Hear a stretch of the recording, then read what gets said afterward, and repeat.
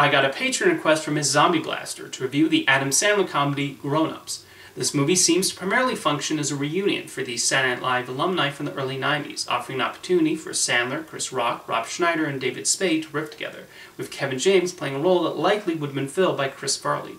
I can understand the desire to make a comedy like this.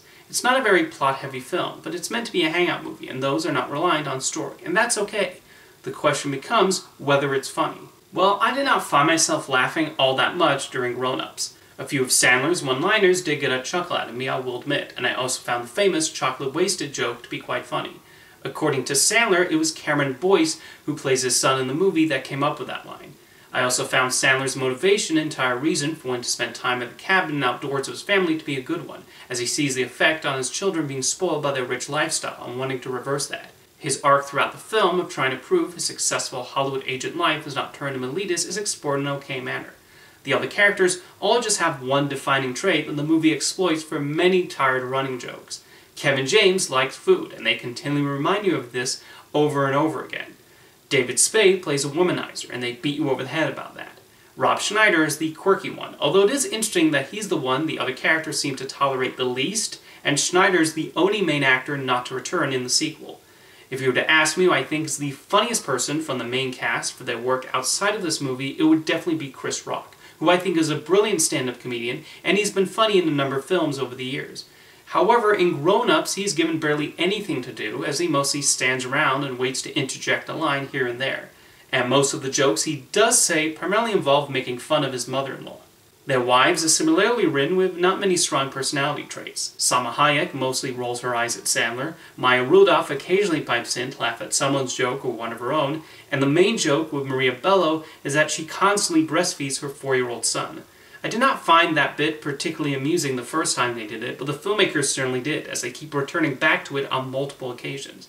I noticed in the end credits that Norm Macdonald was in Grown Ups, and I immediately thought, wait, where was he? It turned out he originally had a significant role, but it was eventually cut down to a few seconds. I sure hope they informed him before he attended the premiere. As expected from a comedy starring Adam Sandler, there's a lot of emphasis on toilet humor, with your fair share of urine and fart jokes, none of which I found myself laughing at. A lot of the film consists of easy gags with not much sophistication. The movie eventually just turns into a random assortment of scenes, with occasional moments to tie the plot together.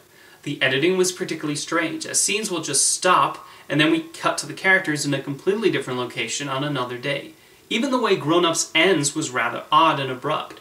When the end credits started rolling, I thought, wait, that's the note you're leaving us on? A lot of people do look at Grown Ups as an example of Adam Sandler just producing a movie so he can go on vacation with friends, like a number of other Happy Madison productions over the years. And yes, I imagine that plays a role in coming up with a story like this. However, I also get the sense from Sandler and people who talk about working with him that he just likes getting the opportunity to collaborate with his SNL buddies, other actors he admires, and directors he's cordial with, like Dennis Dugan and Steven Brill. Sony used to give him a blank check to do that, and now Netflix is allowing him the chance to continue to produce silly comedies for them.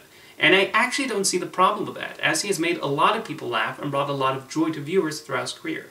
That also has not stopped him from starring in other sorts of films, like Uncut Gems and the upcoming drama Spaceman. Was Grown Ups my cup of tea? No. But I don't begrudge Sandler for making it, and I hope he had a fun time coming up with goofy jokes of his friends and collaborators. Have you seen Grown Ups? Let me know what you think of it in the comments, and thank you for the quest, Miss Zombie Blaster.